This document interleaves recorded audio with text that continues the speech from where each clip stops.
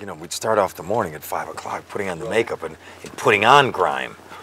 But it, but it, it, was interesting because even after, you know, two and a half hours and the, the look was great, but I'll tell you something, by, by three o'clock in the afternoon, the look was better. Uh-huh. Because uh, when you start, you know. Sweating. Yeah, when it all just kind of like filled in.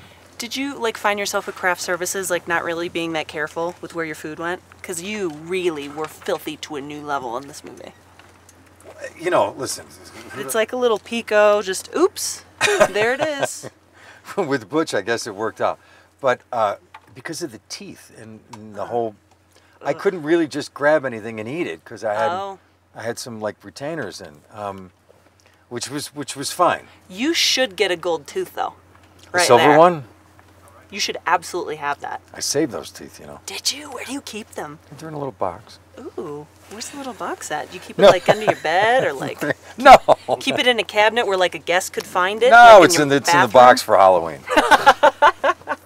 I, I found myself wondering which one of your characters you would least like to run into in a dark alley because you played Cavendish. this guy, right? Has Hands down. Oh God, no doubt about it. Although I think if I were in a limo, I, I would hope that Mr. Chang is in it. Oh, thank From you. From Wrong, Thank you. right? That's a movie that everybody needs to see, fresh I'm on so the glad tomato you meter. saw that. I mean, it was. I, I just love. I, I love that experience. That's because- we shot that thing for nothing. Do you know? Have you met Quentin? I have. He's been on our Oh, Rotten Tomato show. He and Jack Plotnick came too. oh, he's insane. this this is the kind of thing though, is that you bounce, you go from like Armageddon to a movie like Wrong, then back to Lone Ranger. You can do anything. I try. This is you. Do you take anything? I, I read that you have a degree in criminal justice. Do you take anything from that and put it into your roles when you're playing guys like this? Uh, no.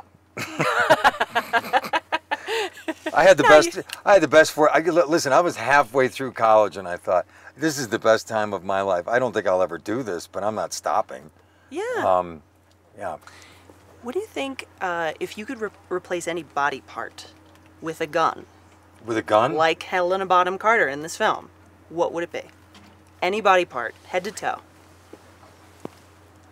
Um. Go there. head to toe, with with a gun. Yep. Anywhere. I know what you're going to say. Like, psychically, I understand, I think, where you're going with this. Can we just say it with our eyes? I get it. Yeah, I felt it. I love that that uh, Silver in this movie is this really spiritual animal. I've never really thought of Silver like that. No, you didn't get to touch the white horse because you were too filthy. However, I wonder, like, do you have a spirit animal? Wh- Why does she talk that way I'm to me? sorry, You know what I mean? I mean. I- did I deserve love. it? What have I said? No, I love. Go ahead, go I have nothing but love for you. A weird kind of. You brought up wrong. I'm, I'm in love. love with you. Stop. Good. That's how I'm getting away with this without you killing me, right? I know. Okay. a spirit animal. Spirit animal. For you, do you have a spirit animal? This is- her name is Daisy. Yeah, she's two years old and she's a Portuguese water dog and she's in my pool right now. Why is a dog in your pool? Because she's a Portuguese water dog. She swims laps Oh. every day. Wow, I didn't even know those existed. Yeah, it's uh, Obama has a Portuguese water dog. Well, That's- what do you know? Well, that's that's why we changed our pool over from a chlorine system to a saltwater pool, Because so it's safe for water so she could so she could swim. She dives in the pool every day. I take the cover back and she does so you laps. swim with your dog. Yeah. That's what you do She when follows you around. Aw, so that's what you do when you're not creating these amazing rich characters for us to be terrified of in this case. It's pretty much what I do. Oh, good. That in Little League. Heard it here first. That's. That's right. Thank you. Thank you. It's unfair to pick a highlight of the day, right? Is it unfair? It's unfair to pick a highlight, right?